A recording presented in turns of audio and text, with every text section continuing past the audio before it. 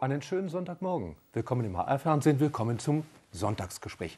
Und in diesen Wochen vor Ostern, da geht es bei uns schwerpunktmäßig um die Frage aller Fragen, nämlich um die Frage, was eigentlich ist der Mensch? Und an diesem Sonntag begrüße ich ganz herzlich Martin Weiser. Einen schönen Sonntagmorgen, Herr Weiser. Ja. Herr Weiser, wer, wenn nicht Sie? Sie sind ein Mann des gewaltigen Wortes, haben ein bisschen Lebenserfahrung mitgebracht. Wenn ich ganz direkt frage, was bitte sehr ist der Mensch? Was würden Sie antworten? Dass sich diese Frage einem Erzähler nie, nie, nie stellt. Der Erzähler ist kein Verallgemeinerer, kein Philosoph, kein Soziologe, kein Politiker, kein Sozialwissenschaftler. Ich habe es immer mit einzelnen Menschen zu tun. Meine Figuren sind höchst konkret, jeweils leidende und handelnde Menschen. Und es geht immer um diesen Menschen. Natürlich äh, der Leser und auch ich, wenn sich die Figur entwickelt, dann kann man vielleicht denken, was ist das für ein Mensch? Aber nie, was ist der Mensch? Das ist Ihre Fragestellung. Die, Entschuldigung, die gibt es bei mir nur konkret. Ja, dann machen wir es so ganz konkret. Nehmen wir Ihr neues Buch, das jetzt in diesen Tagen erschienen ist, Martin Weiser, mein Jenseits. Und da gibt es ja einen ganz konkreten Protagonisten, einen Psychiatrieprofessor, August Feinlein. Und als ich das Buch gelesen habe, da hatte ich den Eindruck, der Mensch, oder dieser August Feinlein konkret, ist ein Wesen, das komisch wird und das fromm wird, wenn es alt wird. Mhm. Stimmt das? Also äh, komisch, ja. Das bezieht er aus seiner Lebenserfahrung, dass äh, Leute, wenn sie älter werden, für, für ihre Umwelt äh, komisch werden. Das erzählt er aber so. Er sagt, in dem Dorf, in dem er aufgewachsen ist, gab es eine Kultur des Umgangs mit älteren Menschen, mit komisch werdenden. Und daran hat er sich gern erinnert. Jetzt lebt er in einer Umgebung, da kommt man nicht mehr in Frage, wenn man älter geworden ist. Das ist das eine. Das, das heißt, man ist abgeschrieben dann. Ja, und fromm war er wahrscheinlich immer.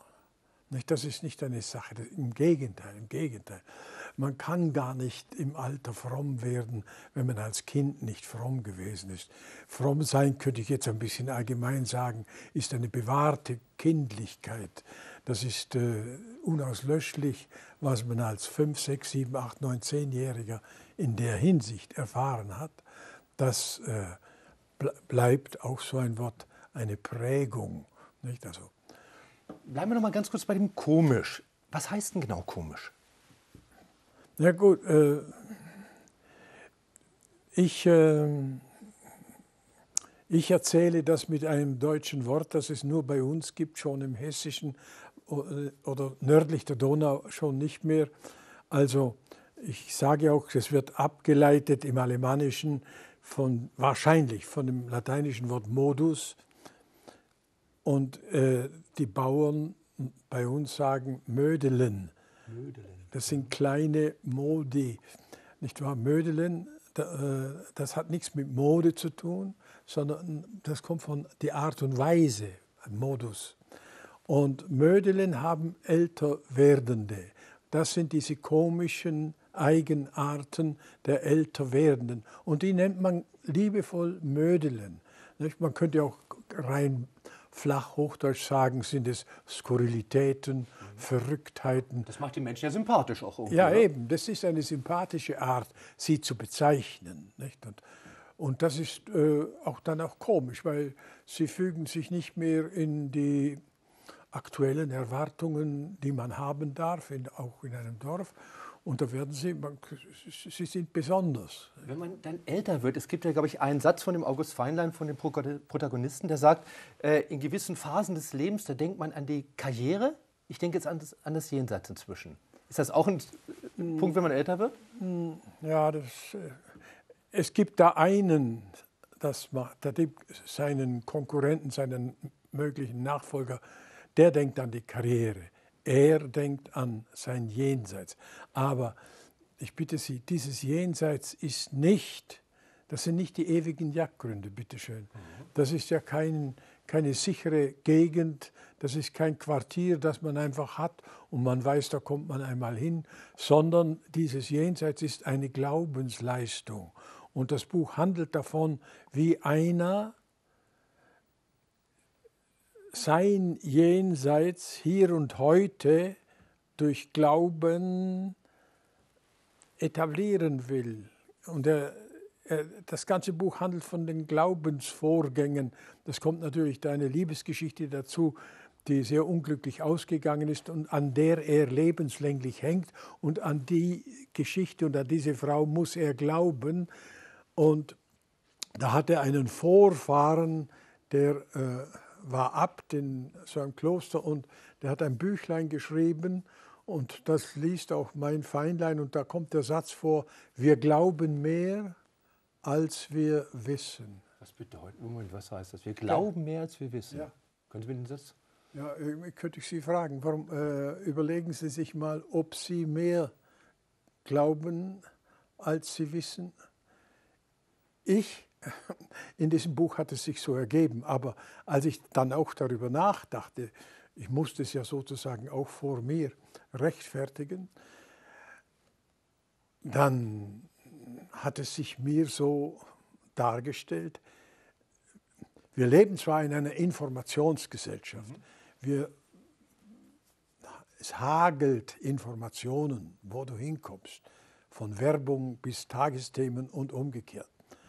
Und trotzdem äh, glaube ich, dass unser wirkliches Leben, unser sogenanntes Innenleben, unsere Gefühlswelt, unsere Empfindungsbasis ist nicht so sehr von dem abhängig, was wir zu wissen kriegen. Also nicht die sondern, Ratio.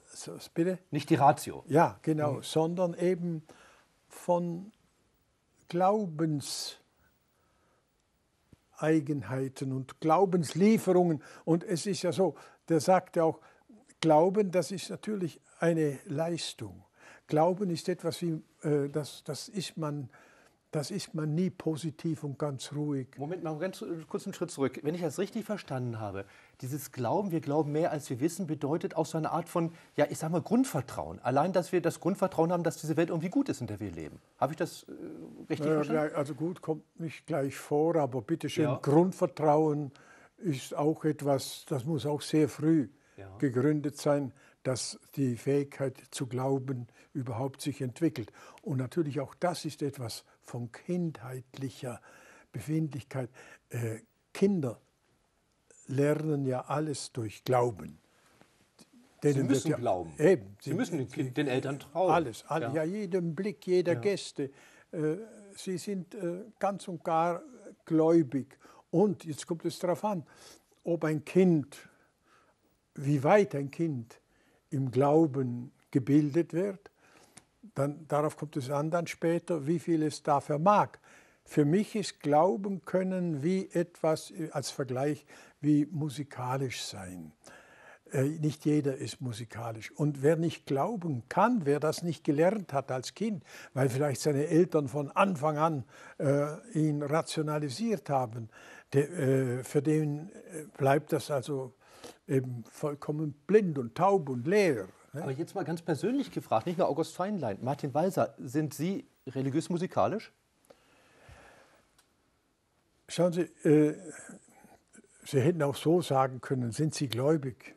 Ich wollte es nicht so direkt fragen. Ja, na, warum denn? Und an was glauben Sie dann? Na, eben, dann muss ich sagen, das ist eben keine positive Befindlichkeit.